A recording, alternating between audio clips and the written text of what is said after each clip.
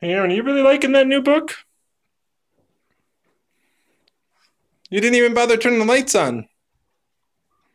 You just really wanted to read it. See, normally we come in the bathroom to get washed up. We don't bring books. But it's very hard to get this book out of this toddler's hand right now.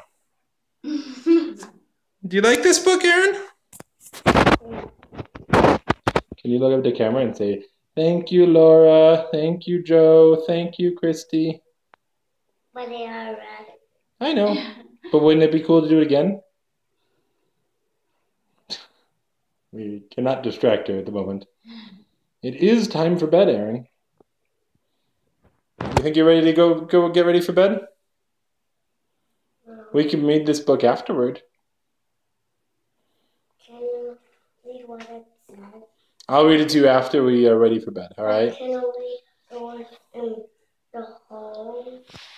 That says 12 points.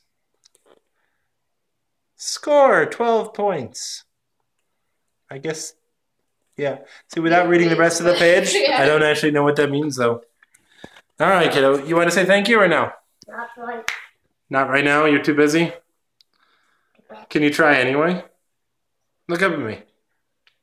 Look up at me, kiddo. Too bad. Aeryn. Bad. Aeryn. I'm too.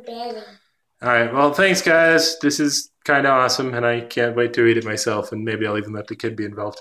So uh, we'll talk to you later. We're running a little late on bedtime tonight. Bye. Can you say bye bye, Aeryn? Bye, Dee. Bye who?